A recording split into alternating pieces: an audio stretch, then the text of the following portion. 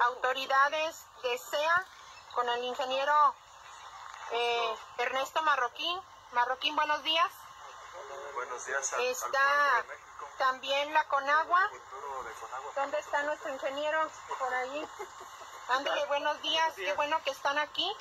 Estamos los dos regidores, Eladio López Amaya y Vero Lomelí del Ayuntamiento de, de Poncitlán, aquí cumpliendo a cabalidad y no vamos a quitar el dedo del renglón para que en esta lucha de, del saneamiento de nuestro lago y de nuestros ríos, de la cuenca Lerma Santiago Pacífico, con esas recomendaciones que pues han quedado en eso, en recomendaciones. Aquí esperábamos que estuviera derechos humanos.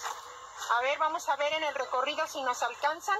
Está también un este autoridad de la comisión de, del agua, viene personal.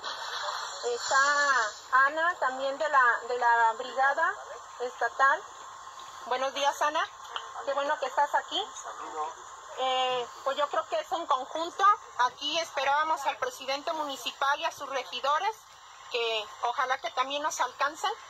Y aquí vamos a dar el recorrido por todo el municipio para que den fe y cuenta de que pues no estamos mintiendo.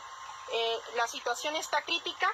No necesitamos un sismo para poner atención o ver muertos por una catástrofe, eh, vaya, un desastre eh, en, ¿qué les puedo decir? Como tipo temblor, algo por el estilo. Esto ha venido siendo de años y, y ya cuentan muchos muertos. Entonces, no esperemos que seamos también nosotros ya parte de esa estadística. Aquí podemos ver donde naturalmente corre la zanja que, que vierte las aguas supuestamente tratadas y siendo que no, porque el ayuntamiento no, ha, no se ha accionado para atender a las recomendaciones y, a las disposiciones que debe de cumplir.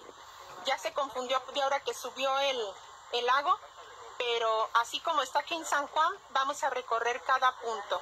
Seguimos informando en este recorrido.